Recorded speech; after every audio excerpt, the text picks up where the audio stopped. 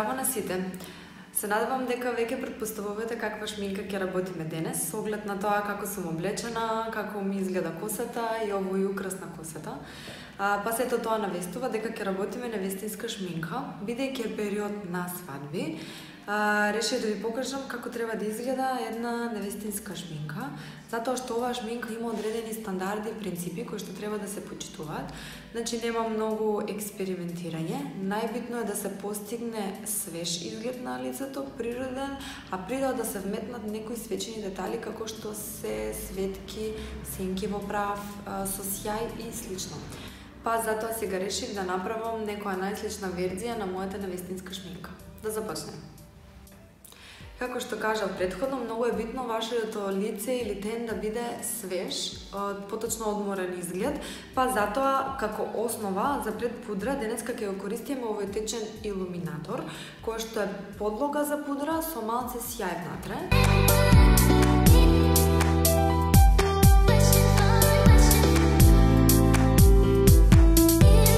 Дали се приметува, меѓутоа има благ сјај од поточно мали дискретни светки низ целото лице, кои што потоа се неутрализираат со пудрата, меѓутоа имаат ефект, ќе видите на крајот.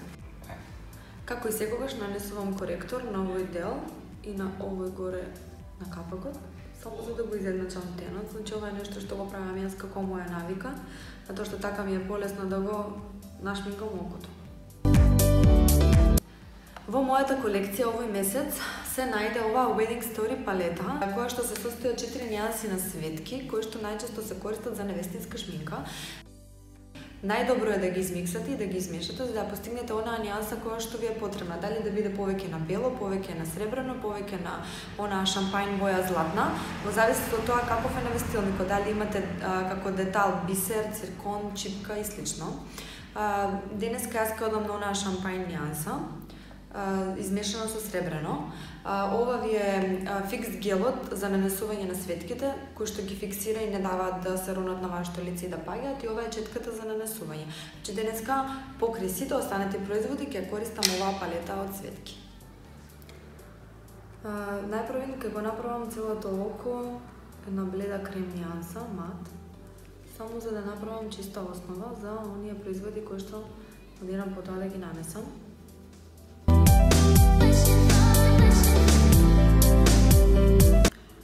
Започнуваме со темниот дел, поточно темниот дел од окото кој што треба да се исенча. јас за мојот изглед ке користам кафеава нијанса, затоа што најмногу одговара на мојот тен, на моите веги, на мојата коса. ако не е кафеава нијанса, се користи сива, значи тие нијанси се, не можеме многу да експериментираме со бои. Како и секогаш започнувајте со најсветло кафеавата нијанса, па постепено додавате се потемна и престанувате да темнете во овој момент кога ќе сватите дека е доволно темно, поточно дека сте го постигнале оно што сте го замислили. Значи започнуваме со најсветлата кафеава нијанса. И сенчаме постепено.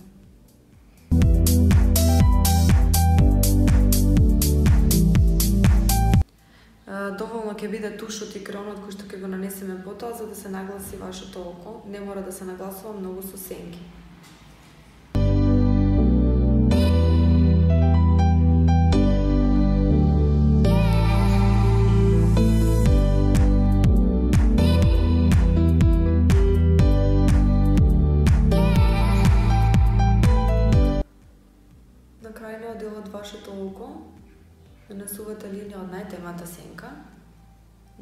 Најтемната кавеава нијанса и сенчате нагоре.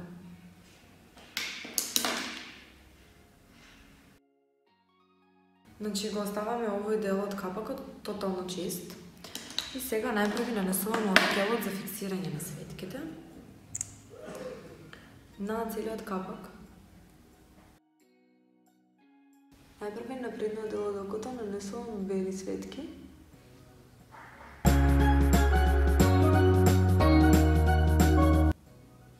Ќе нанесувам овие златни шампањ боја.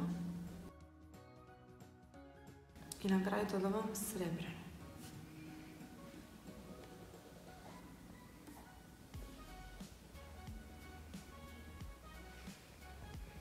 Потоа пак земам од белите. Нанесувам на овој дел врз златните. Земам од златните, нанесувам врз белите.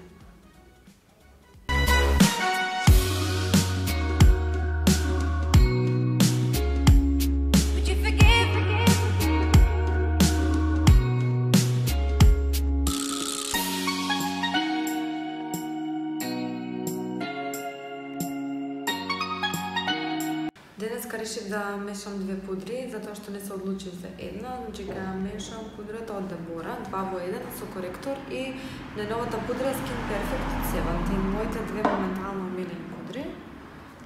Оваа на Дебора има многу убав апликатор за нанесување.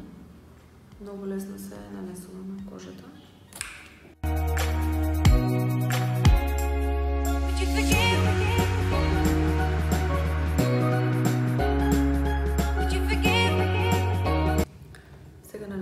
Коректор на делот околу очите за дополнителна покривност. Значи најбитно нешто е да не користите многу сува и дехидрирачка пудра во овој изглед, затоа што таквите пудри најчесто се собираат на предлот околу очите а, и ви прават како брчки и слично изгледате дехидрирано и нездраво, значи најбитно е да се постигне свеж изглед, како што кажав, затоа гледајте да користите некоја пудра која што има огром, огромна покривност и трајност, меѓутоа да не е многу сува и тешка.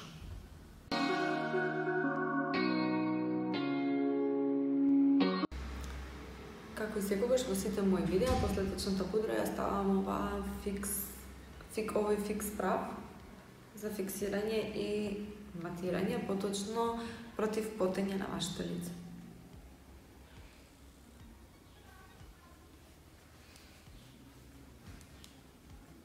Одиме со вегите. Се мисла дали да користам маскара за веджи, која што е многу природна. А, меѓутоа да се решив да ги нагласам повеќе вегите во овој изглед покрај тоа што се препорачува да бидат поприродни.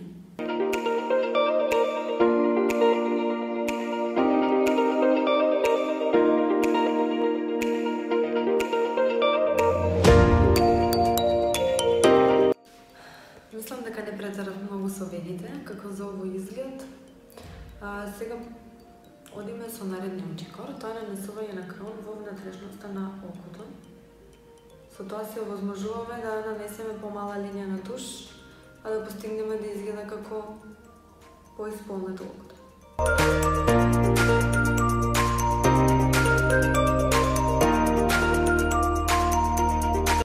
Систата кафеава нјанса која што користевте горе, осенчете пределот од очите. Бидејќи тоа не треба да е некоја многу дебела линија, ќе пробате да нанесете најтанката линија која што можете, но сепак да се познат.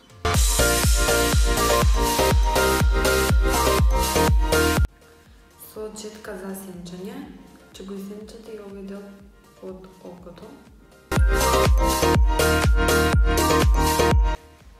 Наредниот чекор е нанесување на туш. Потребно е да успеете да ја нанесете најтанката линија, затоа што доволно е само да го цртате окото без некои строги агли, долги линии, дебели и слично.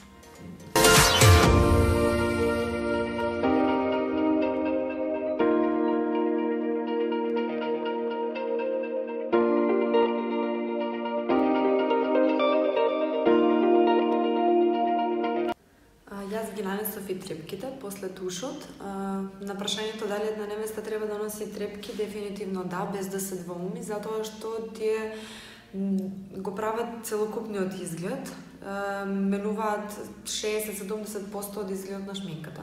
Колку и дали се долги и густи трепките, треба да ставите затоа што тие го подкреваат ваше толку и прават линија на окото. Сега продолжуваме со тенот, поточно со контурирање. И овде во оваа шминка исто така може да направите од оние појаки контури,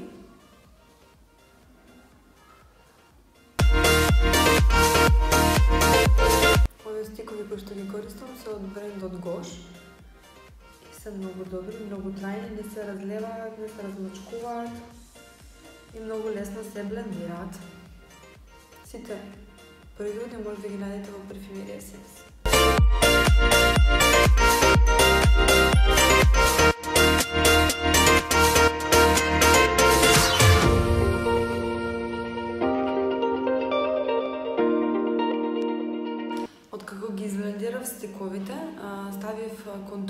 Прав, поточно оваа палета за контурирање секој пат кој што ја користам од брендот Radiant, затоа што има многу добар бронзер.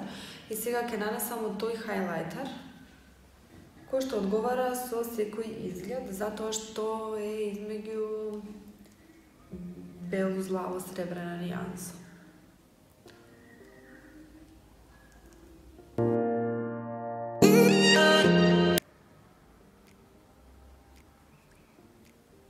Крај ми насувате многу малку руменило, само на образите. За да го освежите дополнително вашиот изглед, меѓутоа мислам дека хайлайтерот го прави целиот ефект во оваа вестинска шминка. Па мислам дека завршивме со очите и тенот, останува уште усните. А, многу се двоуме в каква нјанса на Кармин да ставам, затоа што а, кога станува збор за невеста, нај, најчесто се користат оние светло-розови крем нјанси. меѓутоа многу добро знае да стои црвена боја на Кармин, а, во зависност од нели каков е бидермаерот и каков е тенот на девојката. Едноставно на некои не му одговараат бледа боја на Кармин, па затоа јас го препорачувам и црвениот Кармин. А, меѓутоа, овој пат денеска ќе го користам овој All Day а, липстик, поточно долготрајните кармини на Севантин. Овој кармин има црвена основа, меѓутоа е неутрализиран со крем и доаѓа некако како кафеаво кафеаво црвена нијанса да не кажам. Кога ќе го нанесам ќе видите, значи спаѓа во нежни кармини, но не е блед.